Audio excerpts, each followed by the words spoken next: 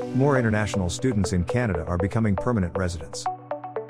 In 2005, 8,565 former international students became permanent residents, compared to 19,330 in the first three quarters of 2023. Ontario remains the top destination for international students seeking permanent residency, welcoming 6,760 former study permit holders in 2023.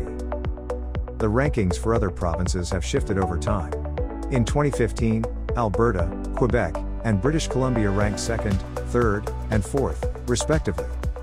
By 2023, British Columbia had moved into second place with 4,195 admissions, followed by Quebec, 2,115, and Alberta, 1,900. Although there are fluctuations in admissions, the overall trend shows a positive growth in the number of international students obtaining permanent residency in Canada. Gunness and Associates has helped thousands of people successfully immigrate to Canada with their families. Our skilled and experienced immigration experts have the expertise to accurately examine your case and advise you on the best method of proceeding to best serve your needs.